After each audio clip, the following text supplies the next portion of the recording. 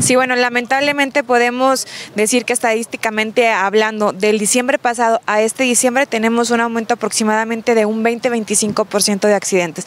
Aquí pues hacer un llamado, un llamado de mucha conciencia a los padres de familia, a los padres de familia en específico, ¿para qué? Para que no presten el vehículo a sus hijos si van a consumir algún tipo de sustancia, algún tipo de, de sustancia tóxica como lo es obviamente el alcohol. ¿Por qué? Porque pues lamentablemente estamos viendo este incremento, entonces creo que es importante hacerlo. Afortunadamente podemos decir también que en el tema de alcohol, pues los, los operativos han funcionado. ¿Están funcionando en qué aspecto? Bueno, que inhiben un poquito esta parte y que los accidentes que también se han presentado han sido por exceso de velocidad.